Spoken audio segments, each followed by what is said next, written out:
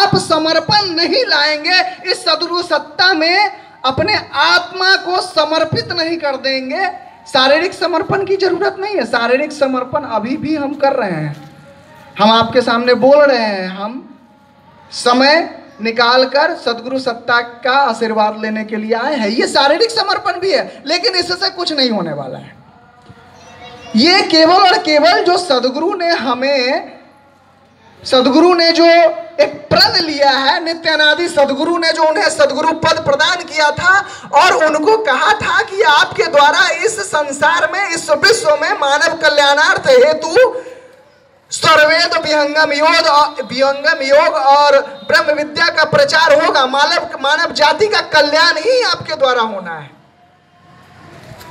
अभ्यास सिद्ध पुरुष बीस कला विभूषित, बीस कला विभूषित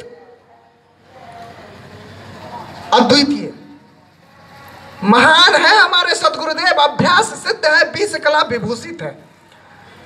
तो उस प्रचार प्रसार के प्रण के लिए, जिन्होंने लाखों लोगों के को मोक्ष प्राप्ति का, लाखों लोगों के आवागमन को रोकने का, बाधा बाधित कर देने का कि आप बार बार उस माँ के गर्भ में जो नौ महीना आप उल्टे लटके रहते हैं और अंदर ही अंदर आप परमेश्वर से कहते हैं कि हमें बाहर निकालो ये परमेश्वर, इस मल मूत्र में हमें कितना दिन रखोगे? जब एक समय सीमा खत्म होने के बाद जब बाहर आपका पदार्पण करवाया जाता है उस परमपिता परमेश्वर के द्वारा तो पता चलता है कि आपने, आप उनको भुला दिए आपको पता ही नहीं हमने क्या पहले किया था और क्या बात आज वही स्थिति हमारी है। हम भूल गए हैं कि हम कहाँ से आए हैं। हम उस ब्रह्म सरोवर के सरोवर के निवासी थे।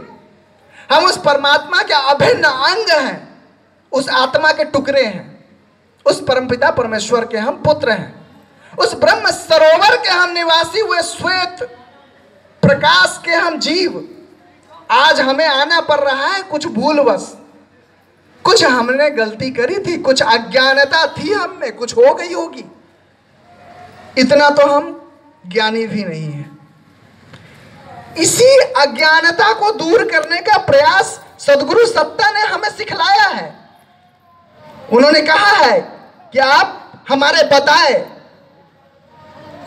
एक सिस्टमेटिक जो साधना पद्धति है, उसको आप 10 मिनट सुबह और 10 मिनट शाम करें और अग्रिम छह महीने तक अगर आप सही से नियमबद्ध होकर, क्रमबद्ध पद्धति, साधना पद्धति जो बतलाई जाएगी, उसका समय सीमा में बंद करके सभी चीज़ों को दिमाग से, सभी चीज़ों को आप अपने मन से हटा करके आप जब उसका साधना करेंगे तो आपको अनुभव होगा, निश्चित रूपेण होगा।